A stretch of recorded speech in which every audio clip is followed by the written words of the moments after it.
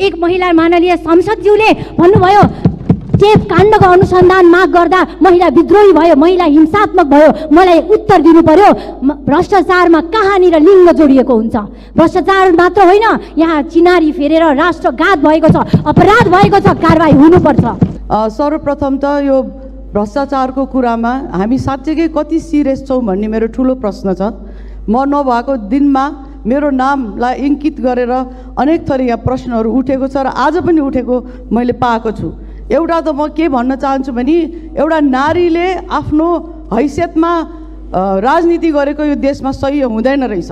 एउटा टर्म छ मिसोजिनी भनेको पुरुषले भनेको ठाउँमा मात्रै नारी बस्नुपर्ने उनीहरूले भनेको मात्रै हामी भाष्य बोल्नुपर्ने उनीहरूले भनेको मात्रै हामी एक्सर्साइज गर्नुपर्ने। त्योभन्दा अलिकति आफ्नो एउटा पब्लिक लाइफमा आयो भने पुरुषहरूलाई त्यो असह्य हुने। यो चाहिँ एउटा परिस्थिति यहाँ बनेको छ र म यो भन्न चाहन्छु नेपालमा मात्रै होइन अन्तर्राष्ट्रिय रूपमा छ तर त्यसको विरोधमा हो हामीले यो संविधान लेखेको र म यसको लागि जसले जति क्रिटिसाइज गरे पनि मैले केही बिराएको छैन म डराउँदिनँ।